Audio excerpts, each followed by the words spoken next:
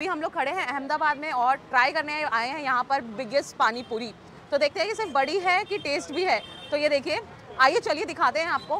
तो हम भी ट्राई करते हैं, भैया खिला दीजिए एक प्लेट पानी पूरी एक और चीज़, यहाँ पर रगड़े के साथ खिलाया जाता है। ये एक मतलब रगड़ा जो होता है ना, गर्म होता है।